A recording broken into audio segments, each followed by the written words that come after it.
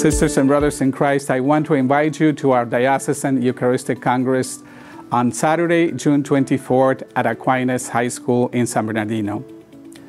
I'm so excited for this day because we will pray together and we will learn from great speakers and workshops.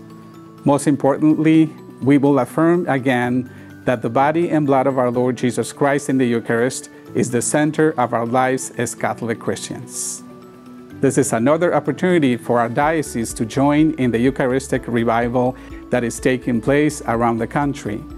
It's a great moment as Catholics to remember what we are all about. We are a Eucharistic people. See you there.